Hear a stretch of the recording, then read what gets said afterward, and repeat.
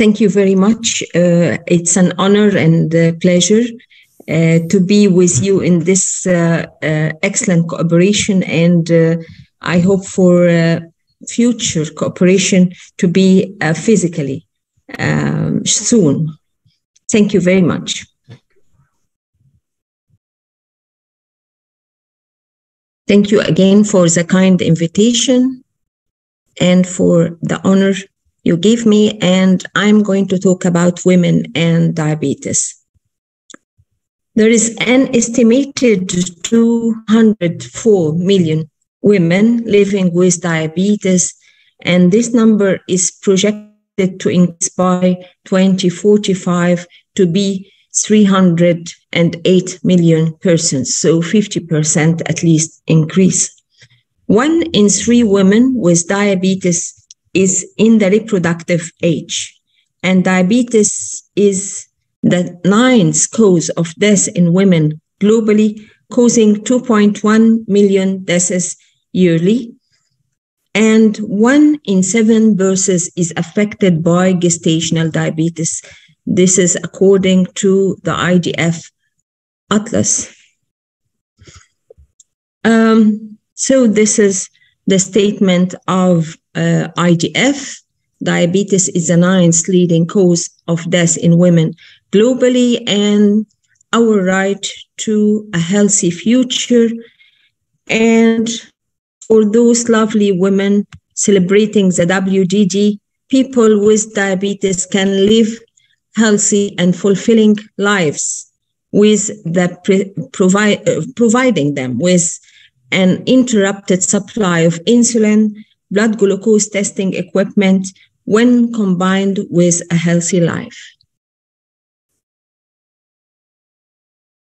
These are the known diabetes complications, and for pregnant women with diabetes or at high risk for gestational diabetes, they should manage their glycemic control throughout their pregnancy to avoid long-term uh, complications on themselves and on the children. There is transgenerational effect higher risk of obesity, higher risk of diabetes, hypertension, and kidney disease to the offspring. Um, one in six live births is affected by hyperglycemia during pregnancy.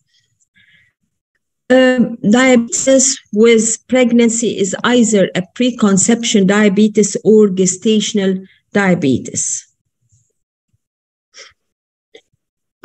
And these are the two categories of diabetes during pregnancy, either pre-gestational diabetes, which is pregnancy in pre-existing diabetic woman, either type 1 diabetes or type 2 diabetes, and gestational diabetes, which is diabetes diagnosed to the first time during pregnancy. Let me start with the preconception diabetes. And the pre-existing diabetes or preconception diabetes, this is the natu- uh, natural history. 60 years ago, 2% of females with diabetes died during pregnancy and 10% of babies were born as stillborn and 10% of babies died during the first months of life. This is actually um, horrible consequences. But during 1980s, evidence of good preconception diabetes control improved the outcome. Studies in 1990s, if the, the conception hemoglobin A1C is above 10%, the congenital malformation rate is 10%. And if the conception hemoglobin A1C less than 7%, the congenital malformation rate is that of the general population.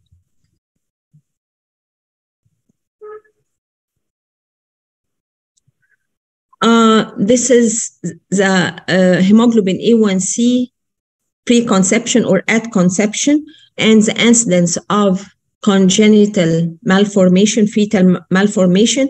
And as we see, if the, the preconception hemoglobin A1C is high, then the congenital malformation percentage is high.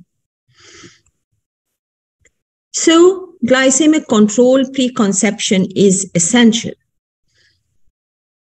How to manage pregnancy in diabetes? There should be a preconception clinic, and at the preconception clinic, we should insist of preconception hemoglobin A1C less than 7% and to stop all teratogenic medications, especially ACE inhibitors, to stop smoking, to start folic acid 5 milligram uh, three, at three months preconception, uh, to check rubella status, and to switch to insulin if on oral agents.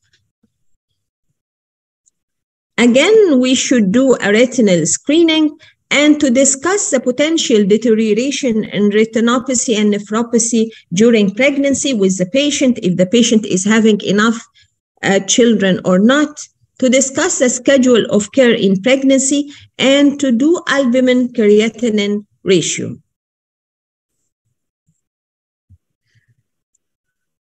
Um, to encourage ladies to do this is a prenatal care or um, uh, during conception to encourage the mother to do SMBG regularly, to adjust the insulin dose in order to maintain um, normal blood glucose levels. And we are going to see uh, how strict blood glucose control during pregnancy should be.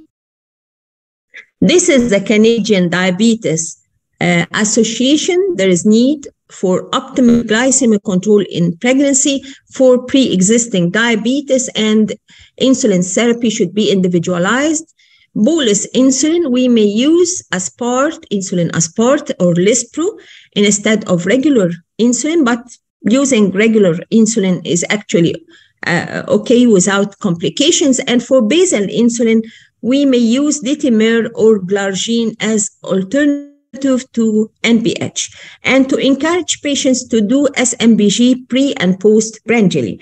And these are the targets for glucose values which are uh, very tight. For fasting plasma glucose less than 95 milligram, one hour post postprandial less than 140 milligram, and two hours post postprandial less than 120 milligram. These are really um, very tight and uh, difficult to achieve.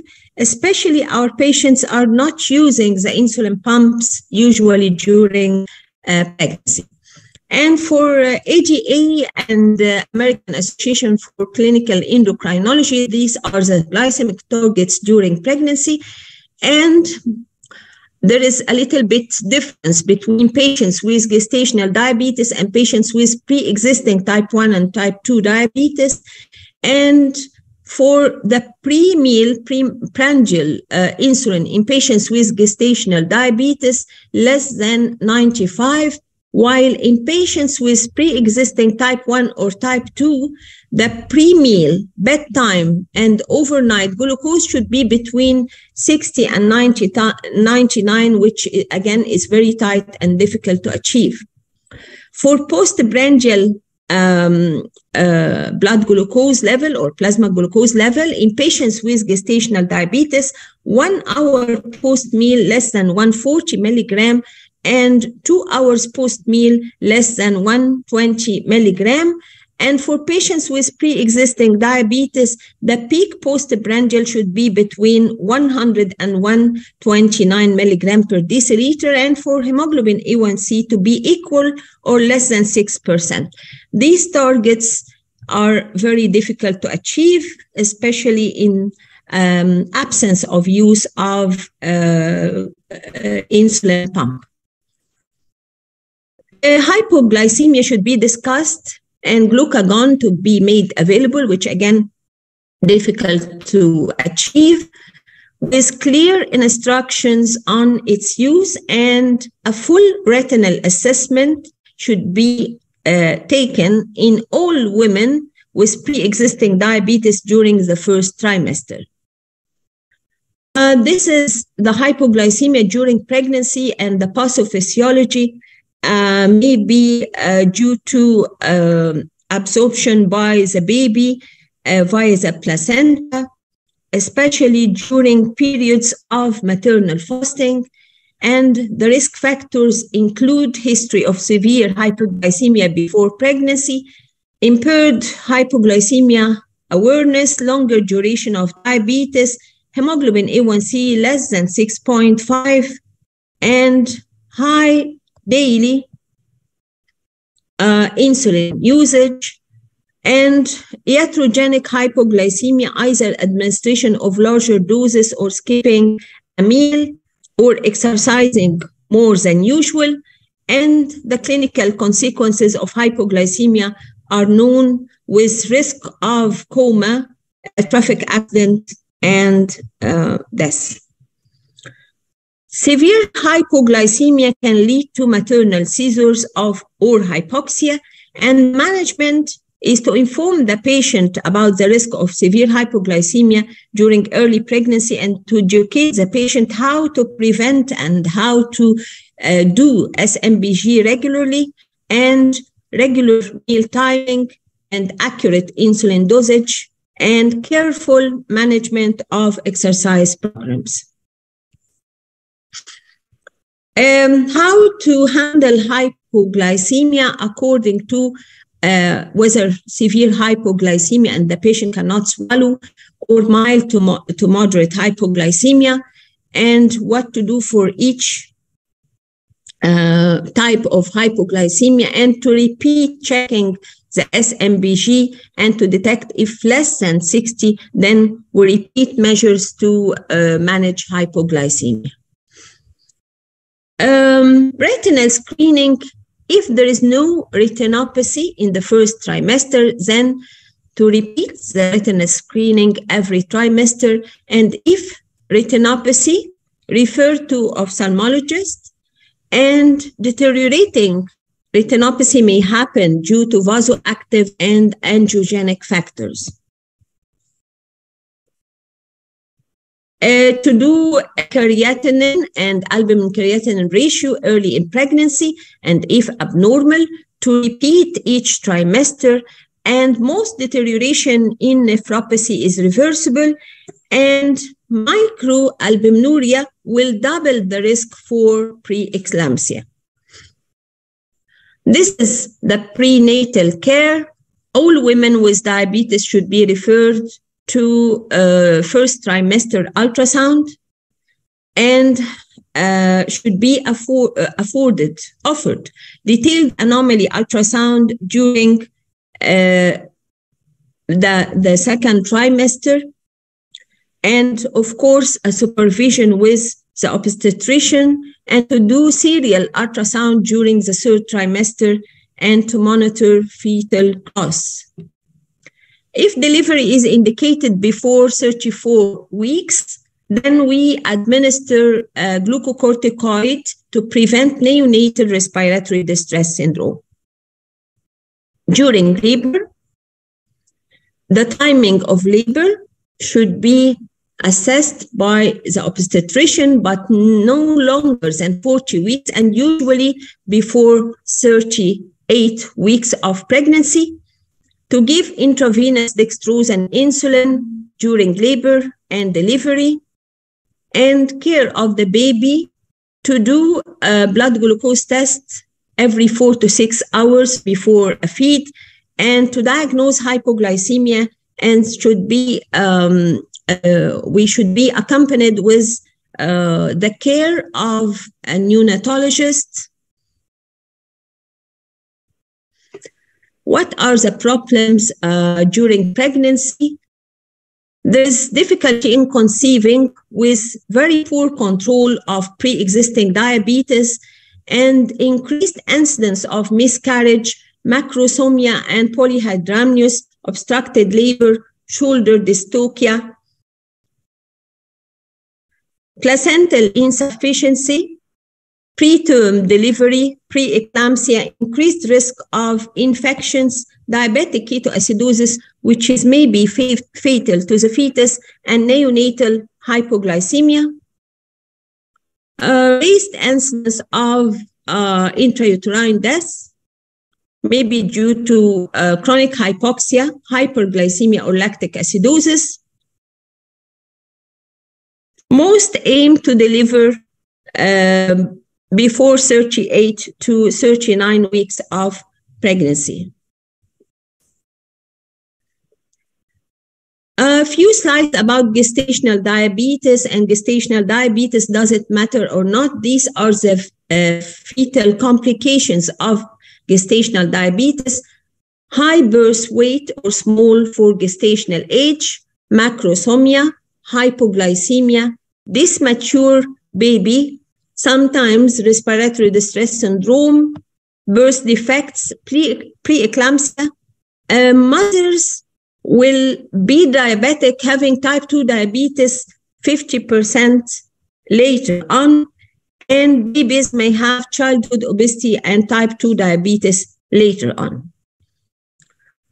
Uh, when to screen for gestational diabetes in those with previous gestational diabetes, in those with resistant glycosuria, previous large baby more than four kilograms birth weight, current large baby more than 95th percentile, polyhydramnios, first degree relative with diabetes, previous unexplained stillbirths, polycystic ovary syndrome, and in those ladies with BMI more than 35 and certain ethnic groups.